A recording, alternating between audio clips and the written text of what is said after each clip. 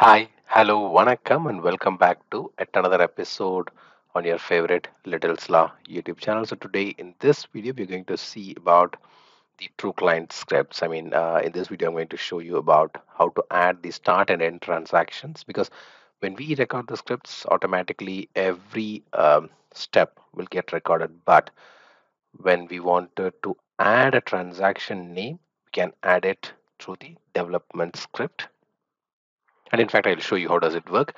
And uh, yeah uh, if you haven't watched my previous videos on how did i created my first true client script using loadrunner and that was a day one. And then i had uh, uh, demoed a video on how to parameterize the data using i mean in true client uh, using loadrunner. And then uh, in the third video we discussed about how to add the think time for the true client. Uh, we even did uh, parameterization where we are uh, substituting the value from the parameter as well. So I believe this videos would have been very useful to you. I could see a lot of views for that and a lot of likes and comments.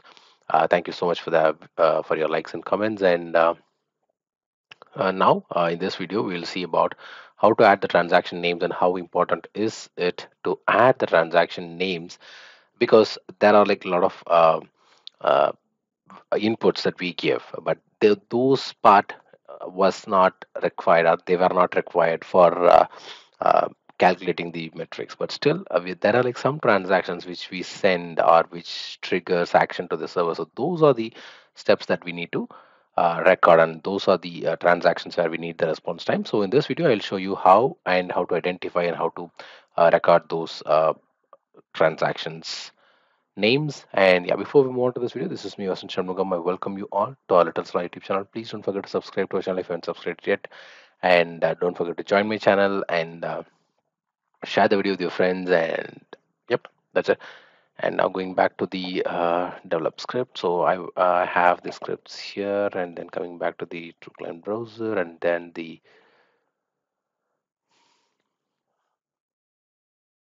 So unlike uh, the regular uh, web uh, application recording, we don't have the option. So for example, I, I just I'll just show you what happens. So let me just delete this one here.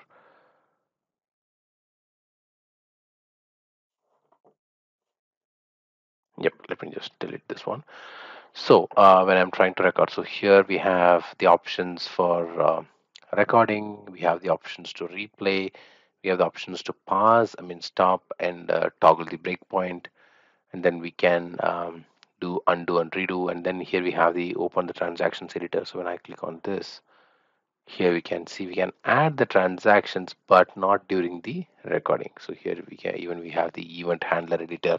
And then if you want to have a screenshot even a snapshot we we can even have that. But unlike uh, the web applications or SAP applications we don't have options to uh, clearly track or clearly add the start and end transactions. I mean, even we, we can do this uh, LR start and uh, LR end transaction, but here the only option is to edit or to add them in this uh, uh true browser window.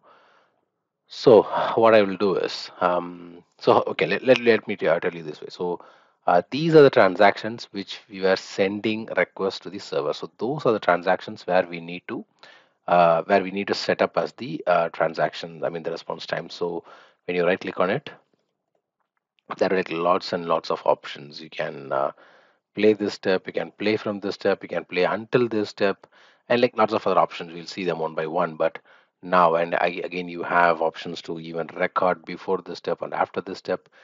And for now, the part here is like you have two options. One is you can uh, right click on this transaction and then when you add start transaction let me add the transaction name which is open landing page. That's my uh, first transaction.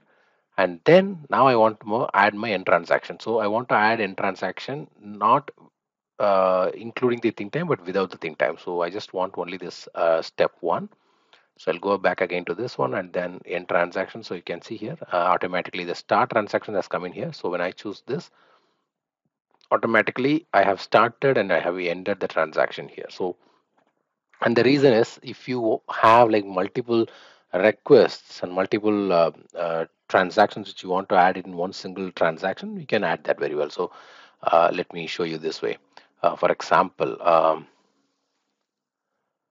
yeah i think this one should work. So for example like let me remove this think time here. Let me delete it. And then let me okay let, let's do this way. So i add the transaction here. Let me add the transaction uh, this way. So 02 enter username. And this entering username has two steps. One is clicking on the username text box. So that's the first step. And then the second step is typing the username in the username text box. So i have two steps like two steps under one transaction right? So i click on it. And then when i add the end transaction you can see uh, automatically the start transaction has come up here. So when i add this one automatically this part i mean the start and end transaction is i mean the username uh, clicking on the username text box and typing the username in the username text box is consolidated as one single transaction. So let's uh, we can do like that uh, for this one as well.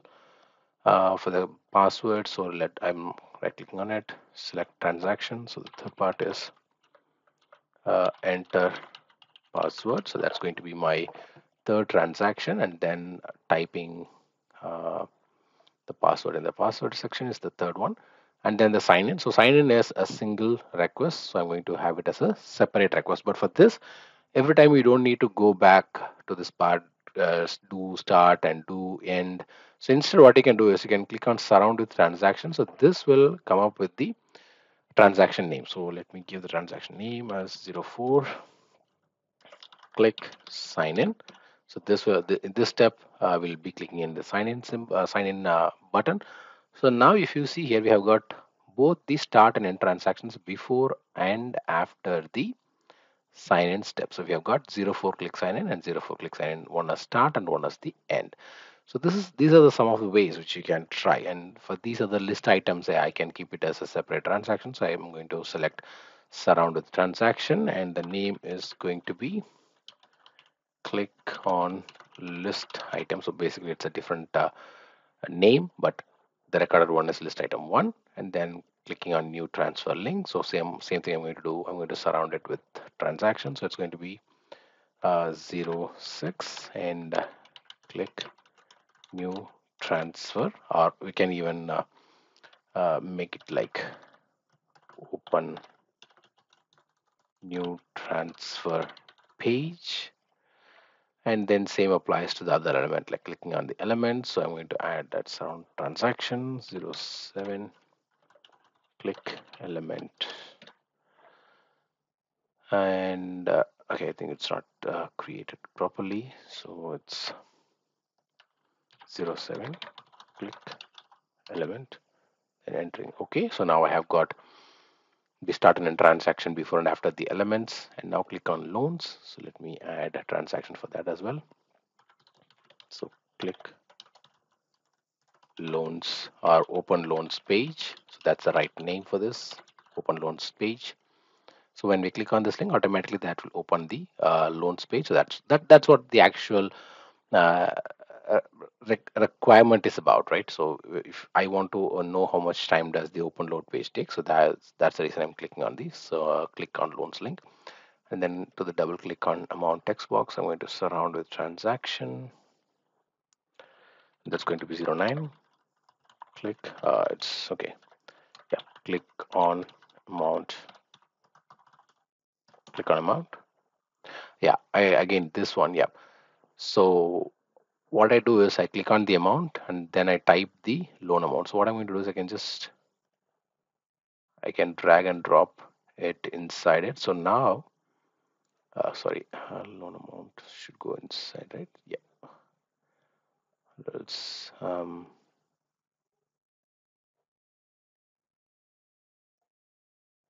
okay I think it it it has an option to go inside.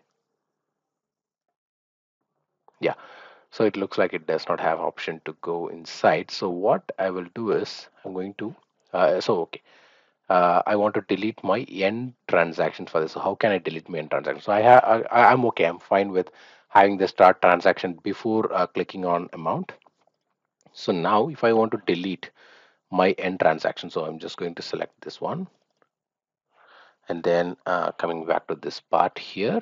So if you see um, we can select the step so we don't need to delete. We can just select it. For example here I have uh, made the end transaction after the uh, the step which is clicking on amount text box. And now what I'm going to do is I'm going to double click on uh, amount text box. So what I'm going to do is I'm going to change the endpoint so I'm going to choose the next step here. So type loan amount. So now if you see the loan amount has come inside right so this is another way so these i mean like the true client is it has actually brought lots and lots of benefits like it, it has like it, it makes wonder if you if you really see and uh, one more thing is like if you're someone who is interested to learn about chatbot testing uh, using LoadRunner, so I'm conducting a training session on the second week of second weekend of September, 14 and 15. So please do enroll yourself, and you can uh, understand about LoadRunner and how to do the chatbot testing from end to end using LoadRunner. Yeah, and for now yeah i think uh, so now we have got uh, click on amount uh, where we have got double clicking on the amount text box and then we have typed loan amount in the amount text box. And there's one more waiting think time which is not required so i have deleted it. And I, I believe i think we even we need to have the enter amount inside this one. So again to do that so i'm clicking on one of the transaction and then coming to the transactions. And let me select this part. So if you see there's a pencil one where I can edit the transaction. So when I click on that part, I get this window and then I'm going to add the next step as well. So that is uh, pressing enter key on amount text box. And I believe, uh, let me uh, minimize this one. I believe we don't need a think time in inside this. So let me delete it. So now we have clicking on double clicking on amount text box where we are selecting the text box and then we are typing the loan amount and then we are pressing the enter key. So with that the amount transaction will get over and then the next one which is um, 10 underscore click on button. So that's going to be my 10th transaction. And then finally one more last element. So I, I can just keep it as like 11th it's going to be end or close transaction. So that's going to be my last last one. Yep. So with that i believe i have um, showed you how to use the transactions the start transactions the end transactions and if i want to make any editing click on the transactions and then under that you can see the transactions window where you can uh, edit as well. So in fact if you want to add any transactions if you want to create any new transactions you can do this as well from here. So in the next video we'll see uh, how to create a new transaction starting and ending on this step so that will be more interesting for you. And uh, like i told you uh, if you are interested in learning about performance testing using LoadRunner or if you want to learn about chatbot testing using LoadRunner please do enroll my, to my training which is happening on september 14th and 15th and um, you can learn a lot. You can uh, do a boot camp. You can try you can try along with me uh, whatever uh, queries you have. And that will be more interactive and more inter- interesting as well so yeah, until I meet uh, you in another interesting video, it's bye bye from Vasan Shanmugam and your favorite Littles Law YouTube channel. Take care and bye bye.